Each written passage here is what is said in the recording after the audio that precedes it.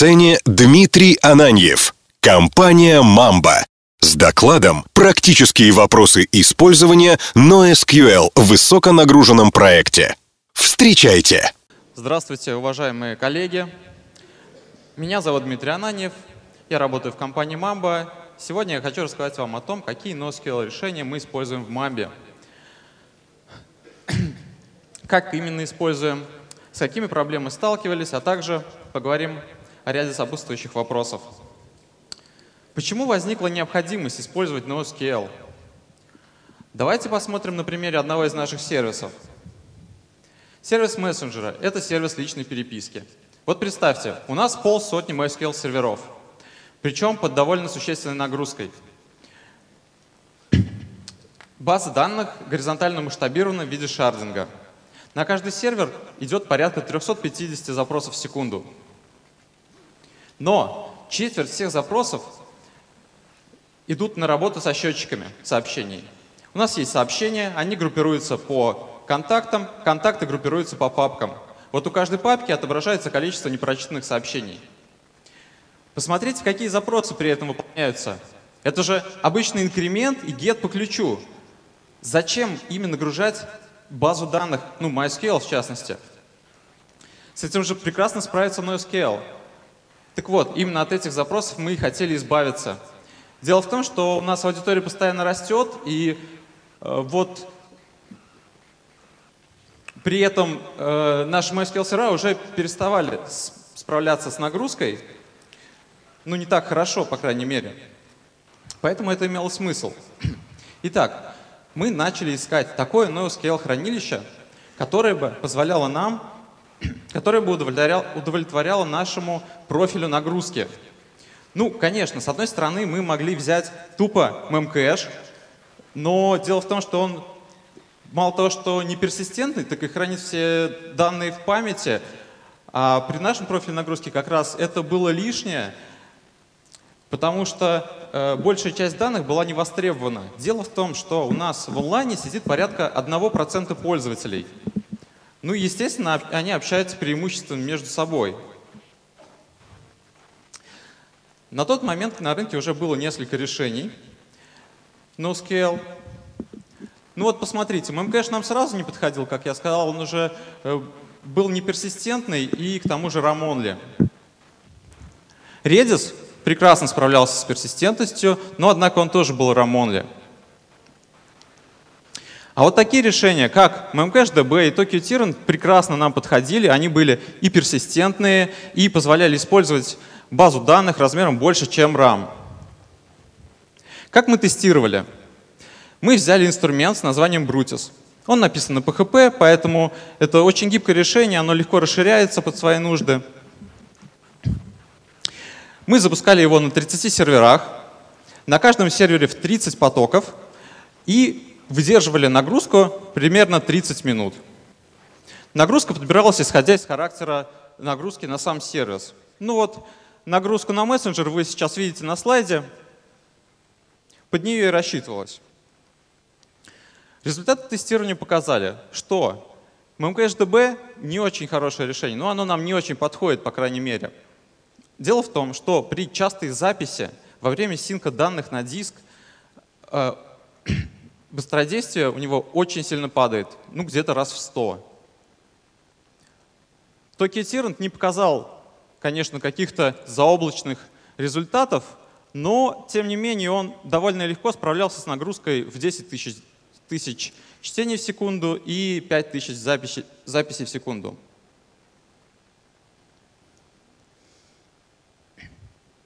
Поговорим немного о деталях реализации. Дело в том, что во время тестирования Tokyo Tyrant выяснился один неприятный момент. При отключении сервера из розетки вся база данных терялась. Да. Но мы не растерялись, мы решили заткнуть эту дыру архитектурно. Сейчас объясню как. Мы взяли два сервера. На каждом из них подняли по два демона Tokyo Tyrant, мастер и слейв. При этом слейв одного сервера брал данные с мастера другого сервера. Сами запросы мы отправляли только в мастер-сервера. Мы, естественно, использовали шардинг для этого. Со слейвов делался только бэкап.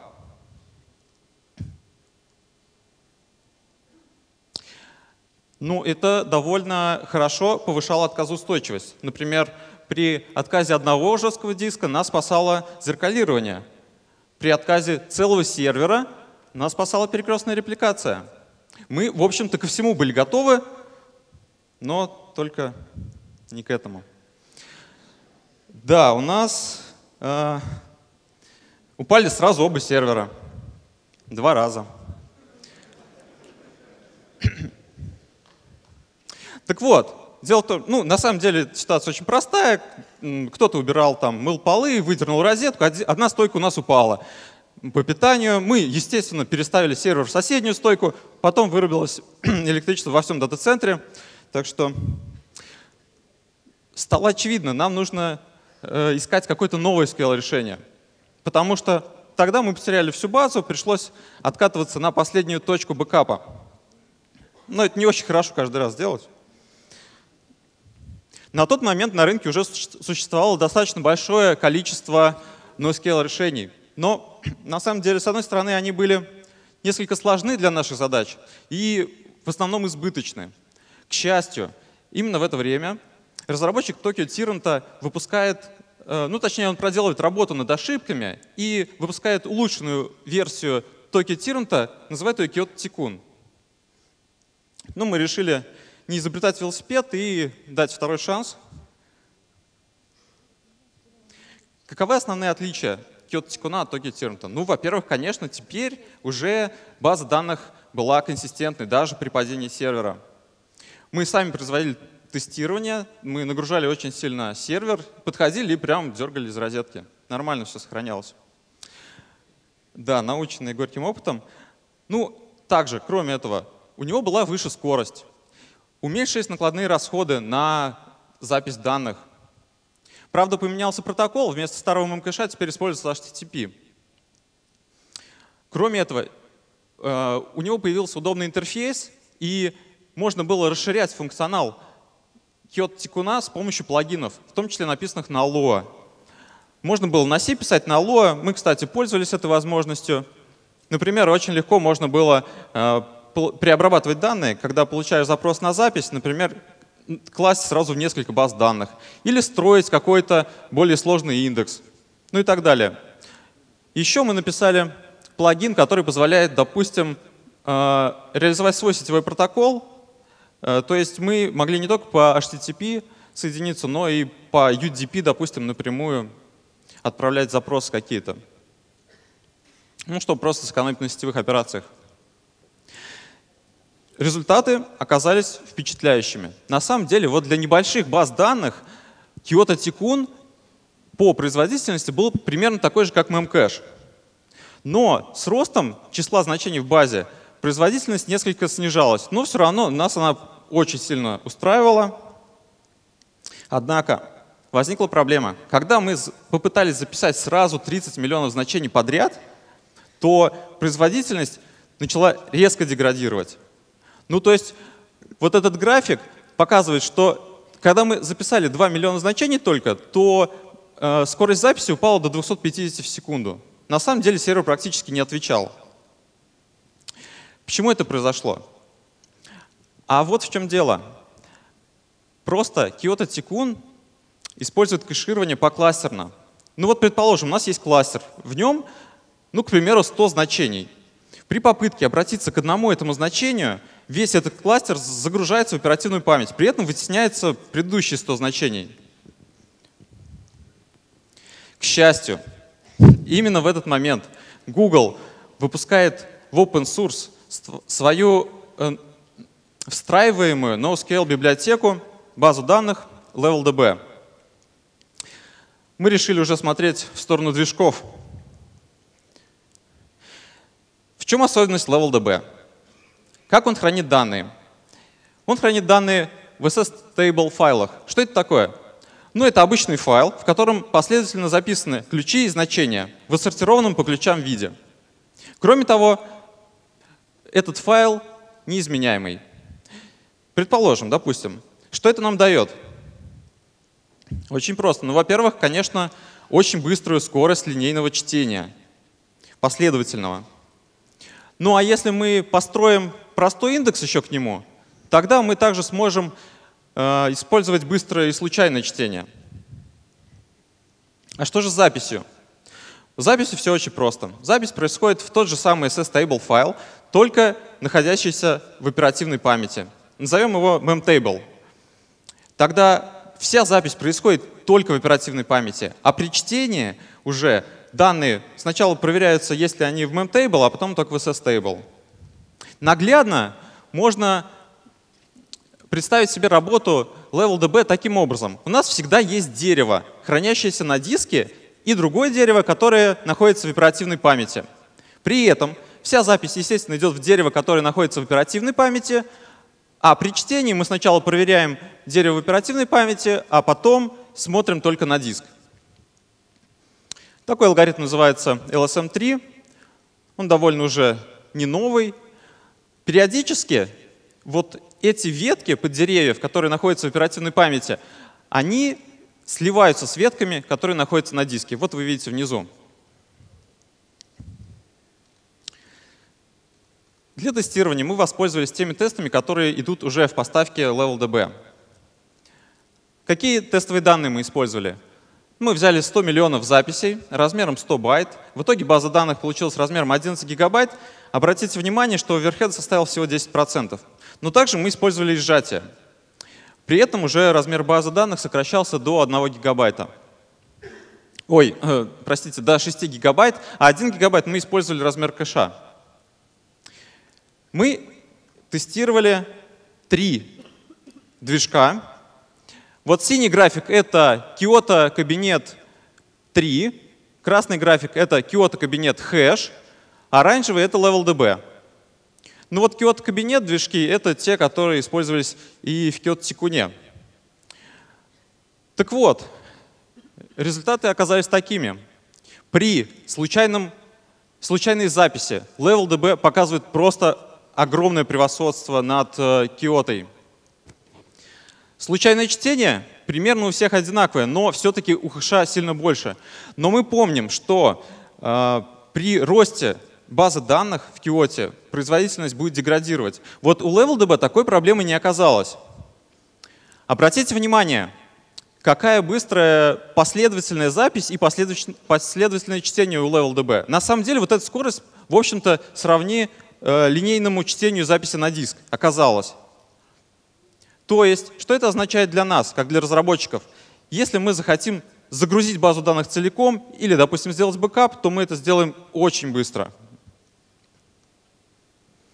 Ну понятно, Google выпустил отличный движок. А что сделали мы? Мы взяли библиотеку LevelDB, дописали к ней сетевую часть, реализовав протокол JSON-RPC, ну для удобства. Также сделали master-slave репликацию. Еще мы добавили дополнительный функционал. Например, это метод incat. Что он делает? Он инкрементит значение в базе, но при этом, если в базе не найдено этого значения, он его просто добавляет. Но это удобно, это происходит атомарно. Ой. Второй метод — это update packet. Он позволяет обновлять данные, которые хранятся в виде сериализованного массива. Например, если мы хотим, ну, к примеру, проинкрементить несколько значений в массиве, то мы можем воспользоваться этим методом, и это тоже произойдет атомарно. Следующий метод getRange. Он позволяет получить сразу целый диапазон значений из базы данных, при этом достаточно указать только начальное и конечное значение ключа. Эти запросы оказались не такими быстрыми, поэтому по умолчанию мы их все отправляли на слейв. На слайде результаты, то есть как у нас сейчас, какая нагрузка идет на level DB в продакшене. Это порядка 5000 запросов на чтение в секунду, при этом среднее время Одной операции чтения занимает 0,6 миллисекунды, 1600 апдейтов и так далее. Размер базы уже превысил 200 миллионов записей, при этом никакой деградации производительности не наблюдается, ну как в Kyoto было. Сейчас также мы уже тестируем базу данных на 2 миллиарда записей, тоже пока отлично все идет.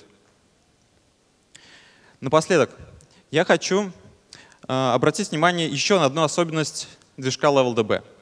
Дело в том, что периодически во время э, слияния поддеревьев вот в памяти и на диске э, среднее время ответа на запросы немного увеличивается. Ну вот посмотрите синий график. Это среднее время ответа на get-запросы. Вот здесь это происходит каждые 10 минут. От чего это зависит? Это зависит на самом деле от того, сколько, какой объем оперативной памяти вы выделите для э, буфера записи. У нас этот размер составляет 128 мегабайт всего. Если его бесконтрольно увеличивать, тогда может это сильно отрицательно сказаться на производительности LevelDB во время слияния под деревьев. Тем не менее, 95% всех запросов у нас выполняется менее чем за ну, вот одну миллисекунду, а 99% всех запросов менее чем за 2 миллисекунды.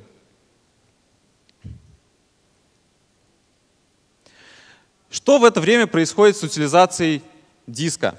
Она возрастает до 25%. Для э, мониторинга мы использовали Zabbix, вот этот график от него. Также мы использовали свое решение BTP, это предыдущий график, доступный на GitHub. Подведем итоги. Совершенно не обязательно все простые запросы отправлять на MySQL. С, с ними прекрасно справится NoSQL. Сначала мы попробовали использовать Tokyo Tyrant, но у него были проблемы с отказоустойчивостью. Затем на смену ему пришел Kyoto Tikkun, и стало ясно, что он подходит хорошо только для небольших баз данных. На больших у него начинает производительность деградировать. Тогда мы написали свой сетевой демон поверх готового движка LevelDB, он показал отличную производительность. На самом деле, вот я рекомендую его попробовать. Спасибо за внимание. Задавайте вопросы. А, подскажите, пожалуйста, насколько уменьшилась нагрузка на MySQL после перехода на этот движок? То есть у вас была проблема именно в этом, насколько я понял? Да, ну я вот сказал уже, что у нас четверть всех запросов составляли как раз вот эти запросы, которые мы перенесли на NoSQL. Но у нас было при этом полсотни MySQL серверов, вот, мы с них четверть нагрузки сняли. И сейчас, в общем, эта нагрузка ушла только на один сервер с LevelDB. То есть а. таким образом освободились ресурсы. Понятно. И еще один вопрос. Не могли бы вы поподробнее рассказать про SSTable? То есть там была такая фраза, что это неизменяемый файл. Каким же образом тогда изменение это происходит? Да, хорошо. Ну, на самом деле, там, конечно, есть еще нюансы, но основной момент, что SSTable — это ну, просто файл, в котором последовательно записаны ключи и значения. Ключи отсортированы. А, когда этот файл читается в оперативную память, то из него очень легко построить э, дерево на самом деле, потому что значения уже отсортированы. Неизменяемый, он только потому, что мы так решили, что давайте не будем его изменять. Это даст нам как раз вот те плюсы с очень быстрым последовательным чтением. Э, у него есть индекс э, у этого файла, и э, вот за счет индекса еще и случайное чтение тоже быстрое. Запись происходит, как я уже сказал, целиком в оперативную память. При этом, когда заполняется вот этот буфер записи, то эти файлы просто на диск целиком последовательно записывается. Причем в отдельном потоке это не мешает там, чтением и другим операциям. Ну, то есть вы в качестве ключей какие значения используете? В качестве ключей? Да. А, ну, у нас строки в основном где-то порядка там 10-15 байт.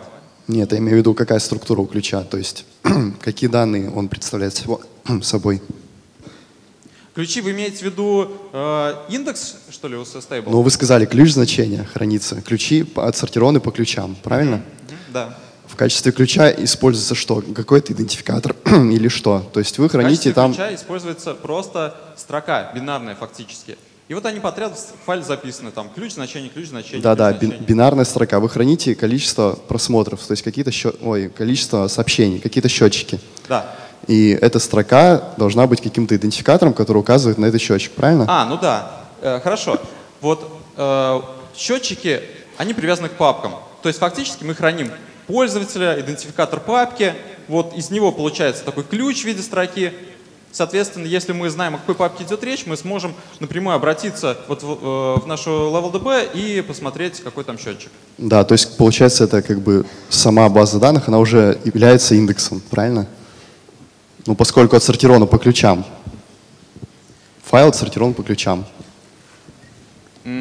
Погодите секундочку, я не совсем понял вопрос. Речь идет сейчас про базу данных MySQL? Нет, мы... нет, но имеется в виду LevelDB. Ну там же как бы, я имею в виду база данных, это вот этот файл, который SSTable. Ну или там несколько файлов, я не знаю, как хранится. Э, простите, я все равно не очень понял вопрос. А, ладно, не важно тогда. А, извините, а вы можете подойти после просто выступления? Мы в кулуарах просто обсудим тогда. Так, а можно, пожалуйста, такой вопрос? Вы говорили, что реализовывали дополнительно поверх движка LLDB свой набор функций. Угу. В частности, была функция update packet, да. которая говорит, что она позволяет модифицировать атомарно сериализованные данные, так хранящиеся в BD. А в каком виде они, сериализованные данные там хранятся? JSON encoded. То есть, ну, то есть, э, вот сейчас я расскажу немножко подробнее. На самом деле это очень интересный функционал, э, потому что он позволяет бороться с рейс-кондишнами. Вот, в принципе, такие атомарные операции мы и делали для этого. Понятно, что в PHP это многопоточное приложение все-таки. Вот. И э, у нас есть массив, например, несколько сразу счетчиков. Ну, в примере, вот на примере сервиса мессенджера можно сказать, что это счетчики прочитанных сообщений, непрочитанных и, в принципе, все счетчики касательно одной папки. Соответственно, когда пользователь один пишет пользователю другому, то мы увеличиваем сразу два счетчика. И общее количество сообщений, и непрочитанных. Плюс к этому мы еще обновляем поле э, последнее время изменения этих счетчиков. Мы его даже не инкрементим, а просто с этим. Так вот, и вот поэтому э, эта ситуация, ситуация очень часто, и вот чтобы не было раскондишенов, мы решили сделать атомарную операцию такую, где мы указываем просто, какие счетчики проинкрементить, насколько, какие установить, э, тоже какое значение, дефолтные значения указываем, и это происходит атомарно. А так вот, э, а получается, если вы реализуете свой сетевой уровень, то есть JSON RPC поверх LevelDB, угу. и вот при обращении какой-то конкретной записи у вас выстраивается очередь запросов к этой записи, то есть, например, у вас два пользователя одновременно послали сообщение. Mm-hmm. То есть, получается, нужно обновить счетчик два раза. Да, Но так как, и есть. То есть две атомарные операции получается. Да. А какой прирост производительности был бы, если вы используете, например, не JSON, который надо каждый раз заново распарсить из текстового вида, к примеру, там сериализован какой-нибудь бинарный формат свой. Вы не рассматривали такой вариант? Да, рассматривали такой вариант, но э, вот по, по производительности самих движков понятно, что если э, мы говорим об операциях update packet, то видно, что вот наш демо сейчас работает, э, ну, отрабатывает одну операцию update packet за 0,6 миллисекунды. Вот, так что, в общем-то, очередь это даже не копится, с одной стороны. С другой стороны, на самом деле вот эти... Сейчас. Вот э, эти запросы, которые идут, это не то чтобы get по одному ключу и не то чтобы update packet по одному ключу. Мы по умолчанию делали такую архитектуру сетевую, что можно указывать сразу кучу значений. То есть get у нас там, допустим, обычно сразу 6 ключей. Мы спрашиваем. Если update packet, аналогично, мы там 2 или 3 сразу обновляем. То есть э, на самом деле производительность еще выше, если работать только с одним ключом. А эти наработки куда-нибудь потом будут выкладываться open source? Да, мы сейчас работаем над этим. Э, будет доступно вот в этом репозитории нашем на GitHub Mamba.ru. Вот, мы э, выложим его туда. Хорошо, спасибо. А, здравствуйте. У меня такой вопрос. А, вы вот, я как бы посмотрел ваш доклад, и вы в первом слайде сказали, что мы отказались от Redis, но в конце, в принципе, у вас получилось все то, что есть в Redis из коробки. А, то есть тот же атомарный инкремент, мастер-слейв. Redis также умеет сбрасывать все на диск. Вот, вы сказали, что у вас там 11 гигабайт э, данных, но это проблема найти сервер с 16 там, оператив, оперативной памяти. То есть почему все-таки? Спасибо. Дело в том, что вот про 11 гигабайт, когда я говорил, я говорил о том размере, на котором мы тестировали. То есть мы запускали тесты, мы брали три движка и, и делали универсальный тест, ну, то есть одинаковые, чтобы они были, чтобы можно было как-то их сравнить друг с другом. На реальных данных, вот сейчас у нас уже получается там порядка 20 гигабайт, причем это сжатых данных. Вот. А, и это в продакшене уже работает. Мы тестируем еще больше, то есть мы планируем очень сильно увеличивать эту нагрузку, э, то есть размер базы данных уже вот тестируем на, миллиар, на 2 миллиардах записей. И в конце концов тут бесконечно не получится. Э, ну, вот поставьте два сервера.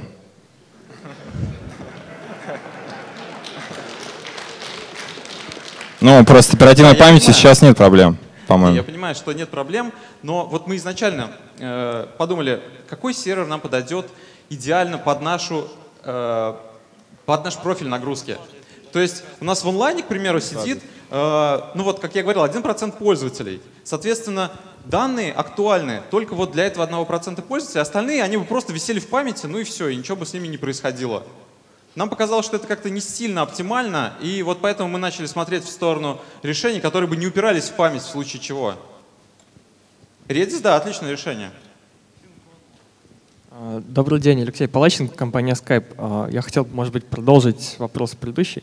Uh-huh. На первом слайде вы сказали также, что вы отказались от MKGDB. Он, в свою очередь, использует Berkeley DB, который довольно гибко настраивается. Пытались ли вы это делать или сразу от него отказались? Ну, может быть, не так сильно э, долго мы это пытались сделать, как хотелось бы, но э, какое-то время действительно мы пытались все настраивать. Но все равно, э, из-за того, что очень много было операций записи, у нас получалось так, что все равно вот во время э, высокой нагрузки, когда и чтение, и запись идет, когда происходит синк данных на диск, в этот момент все равно все вдупляло. Причем вот, ну, реально очень сильно, вот в сто раз. Э, примерно там, ну то есть до десятков записей в секунду. Ну, такой деградации мы не ожидали, производительство вот именно в эти моменты. Но я скажу такой пример. Э, у нас получалось, что раз э, в 5 минут у нас вдуплял жесткий диск, причем утилизация возрастала на 100%, там, не на 25%, примерно в течение 30 секунд. И так каждые 5 минут. Вот. И ну, это казалось совсем как-то неправильно долго не разбирались на самом деле. Может быть сейчас уже, это было уже достаточно давно, года три назад, может быть сейчас уже там оптимизировали что-то и как-то это решение развивалось дальше, я не следил за этим уже. МемКэшDB не развивается уже, он за три года там не было ни одного коммита, но то, о чем вы говорили, это в принципе настраивается. Здорово. Спасибо. Спасибо. Здравствуйте, спасибо за доклад. Как я понял, вы используете новый SQL для хранения счетчиков сервиса сообщений. В том числе.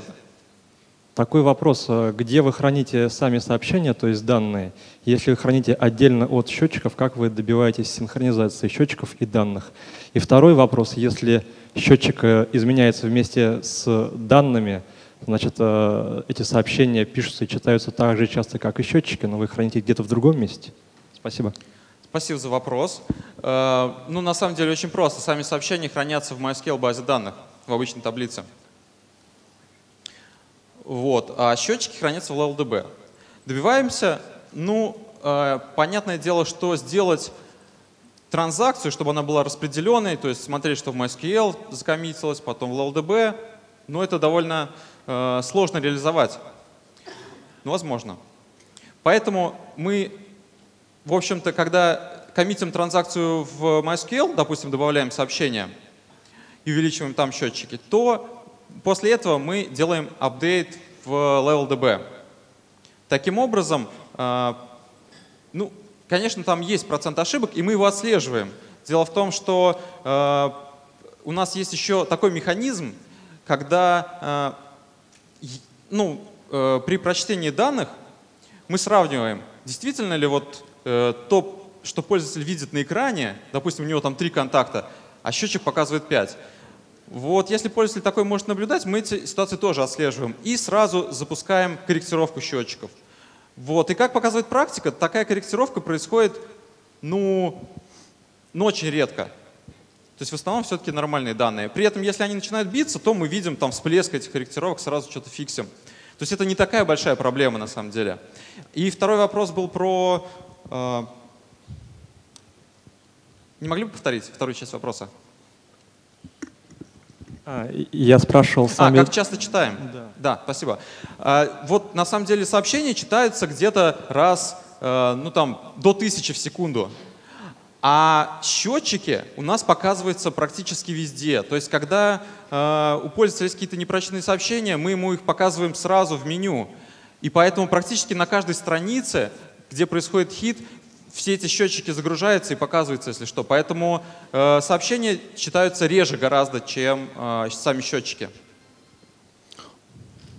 Здравствуйте. А, вы сказали, что вы реализовывали мастер-слейв репликацию, а, но в тот же момент вы сказали, что вы используете один сервер. А, могли бы вы об этом немножко рассказать? И правильно я понимаю, что исходными данными для репликации у вас вот, вот, вот те 2%, вот этот write ahead log, вы оттуда данные берете для репликации, то есть для слейва или нет? Да, э, вот э, данные для репликации мы храним в оперативной памяти э, и отправляем на слейв. Почему я сказал, что один сервер используем? На, на самом деле их два, то есть мастер и слейв. Но основная нагрузка идет строго на мастер. То есть это все апдейты, сеты Запись. и так далее. А вот э, на слейв э, очень мало идет. Он у нас в основном для бэкапа и для чего-то такого. Это э, в, в сравнении с тем, что когда мы реализовывали Э, архитектуру для Tokyo Tier, нам, мы вынуждены были два сервера использовать и между ними шардить нагрузки. Здесь такой необходимости нет, так как консистентность данных сохраняется в случае падения сервера. А, я понял. Ну, а вот по поводу, а, откуда Slave берет данные, то есть у него данные обновляются в момент записи на... То есть он, у него какая-то очередь, из которой он эти данные да, обновляет? Да, так и есть. То есть, а вот эта очередь, она не этот write-ahead log, который нет, вы храните нет, на нет. диске? Write То есть у него свое... Своя очередь, да. Red Hat Log — это вот э, тот функционал, который уже реализован в LevelDB был, свой собственный. А мы реализовали чуть повыше уровнем, э, просто копим очередь и отправляем ее на slave. А, и сколько вы эту очередь храните? Какая, какой длины она? То есть пока слайв не прочитает, он, когда читает ее, вычищает или... Ну, когда он, чищает, э, когда он читает ее, да, то эти данные оттуда вычищаются. Ну, если она там сильно заполнится, то мы можем ее записать на диск тоже. Ну, Ясно. такого не случалось. А, а слейв может быть один только? Слейвов может быть сколько угодно. На самом деле поддерживается там даже два архитектурных решения. Первое архитектурное решение — это когда у нас есть мастер и слейв. При этом слейвы могут быть, их много. Причем они могут быть каскадно даже. То есть вот один мастер, там два слейва, дальше еще там с десяток слейвов от этих слейвов. И второй вариант — это когда мы можем реплицировать мастер-мастер. То есть мы можем на самом деле сделать и так тоже. А, ясно, спасибо. Спасибо, очень интересный доклад. А, мы используем MongoDB для математических расчетов. И есть проблема с тем, что когда мы заливаем туда 5 миллионов записей, пока она строит индексы, она перестает отвечать. Как здесь это ну, получится ли нам, если мы перейдем на другую СУБД, побороться с этой проблемой? Да, вот как раз-таки пример того, о чем я и говорил. На самом деле из-за этой же проблемы мы ушли от Киото Тикуна. Потому что когда мы туда попытались записать, ну, очень много данных, э, то мы ожидали, конечно, что он просто запишется и все. А оказалось так, что он перестал отвечать на get-запросы, и там уже не тысячи в секунду записи показывал, а там всего 250 максимум. И при том, что это мы в один поток записывали последовательно. При этом использовали Kyoto именно хэш-таблицу. Вот. А с LevelDB как раз такой проблемы нет. Почему я уже сказал? Потому что вся запись происходит в оперативную память. Ну вот представьте, вы, вам нужно записать последовательно там э, несколько миллионов записей. Они идут на LevelDB, на сервер, записываются в оперативную память, причем тоже последовательно, в общем-то. Потом раз в какое-то время, когда заполняется буфер записи, этот, э, этот э, ну, кусок данных скидывается на диск в параллельном потоке. Вот, собственно, когда нагружается до 25%, повышается утилизация точнее. А в это время сервер продолжает также спокойно отвечать. Ну, Единственное, вот то, о чем я сказал, что средняя скорость ответа может колеблиться. Ну, вот пики есть до 1 миллисекунды, это среднее время ответа. Но в основном все равно вы видите, что э, среднее время ответа во время даже мерджа веток, оно примерно 0,7. Ну, вот это по верхней границе, если судить. А в периоды между э, слияниями деревьев, оно вообще 0,5. Это полмиллисекунды. А.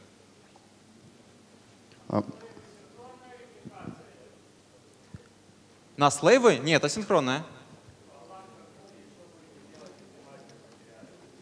Если мастер потеряется, то слейв будет ждать, пока он поднимется. Все очень просто. Когда он поднимется, он заново переконнектится и перечитает данные.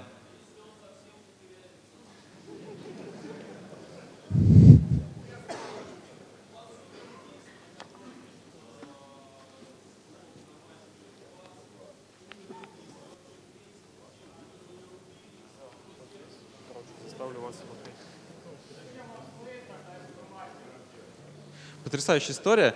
Спасибо за вопрос. Э, э, конечно, мы очень просто. Если у нас падает сервер мастер, да, ну понятно, что мы можем там два мастера поставить и, и там два слейва.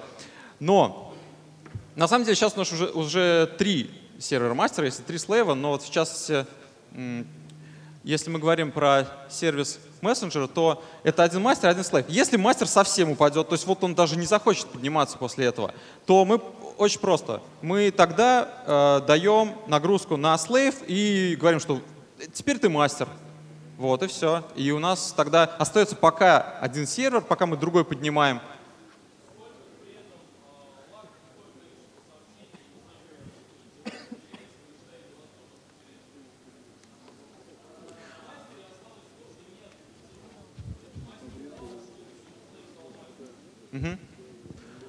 Ну вот, действительно, это вот нерешенная проблема сейчас остается.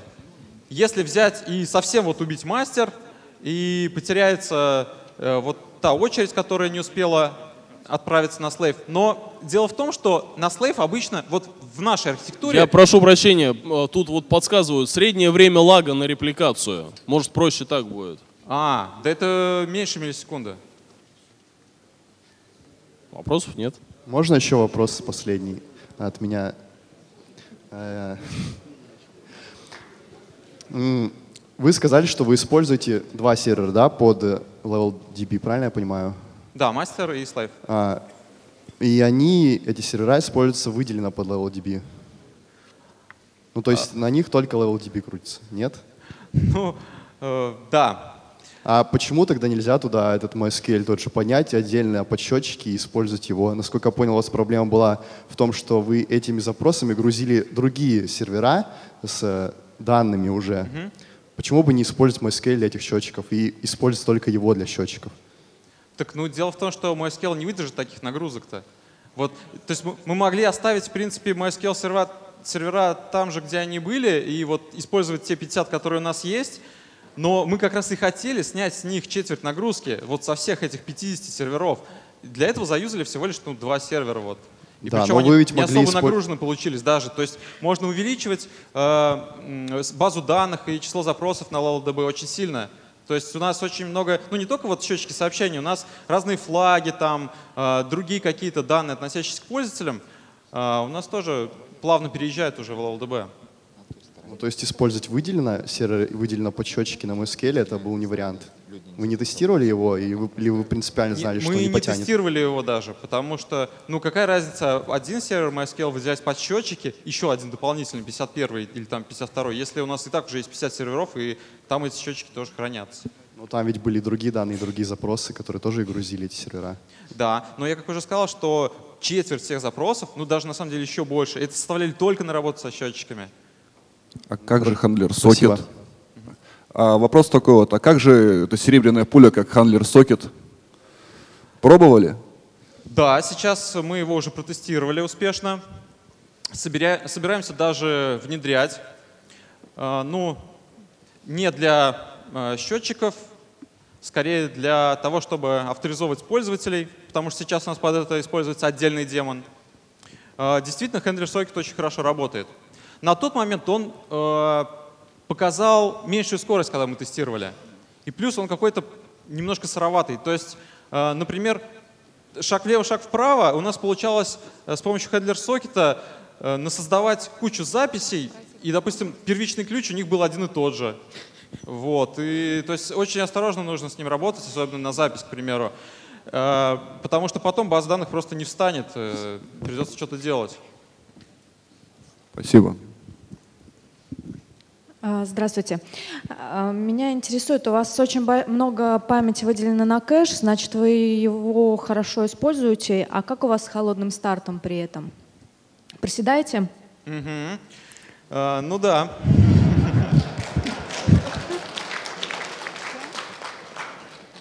Понятное дело, если у нас используется MySQL Memcache, то, к примеру, когда все падает, а потом все поднимается, все лежит заново. Но э, вот с LevelDB, в частности, и последовательное, особенно последовательное чтение, происходит вообще со скоростью чтения с диска. Вот, поэтому на самом деле, если у нас все падает, то все поднимается, то проблема с LevelDB возникает, ну точнее она не успевает возникать в принципе. А, я думаю, он очень хорошо справляется с, и со случайными чтениями тоже. Ну вот у нас есть вот эти результаты тестов. Вот здесь а, LevelDB на случайном чтении показывает производительность 15 тысяч чтений в секунду. Это Сам на холодном движок. старте? На холодном, да. Но это просто тесты, они запускаются, э, разная нагрузка дается, с нуля записывается там файл, читается и так далее. Ну, понятно, что это данные э, тестирования самого движка. Сетевая часть, конечно, дают, э, дает свой э, эффект негативный, и снижается эта скорость. Но в принципе, то есть она будет сопоставима в любом случае. Ну, я так понимаю, что это момент, когда мы записываем, то есть э, это момент, когда у нас еще все в оперативке. А если мы уже скинули на диск и стартовали, у нас этого всего в оперативке нет, и нам приходится все поднимать в оперативку, соответственно, выстраивать там индексы, и это все равно займет какое-то время. Такие mm-hmm. тесты вы проводили? Смотрите, во время старта, холодного, к примеру, идут куча запросов. В это время файлы с диска подтягиваются в кэш. Причем вот там есть отдельный буфер, про который я говорил, буфер записи 128 мегабайт. И кэш, э, мы под кэш выделяем вообще 40 гигабайт. Ну, то есть там памяти дофига на сервере, 40 гигабайт мы просто выделили для кэш. Вот. Поэтому как только начинают случайные чтения происходить, или там последовательные, на холодном старте, то вся эта информация сразу э, поднимается в кэш. И оттуда уже берется. Спасибо. Спасибо.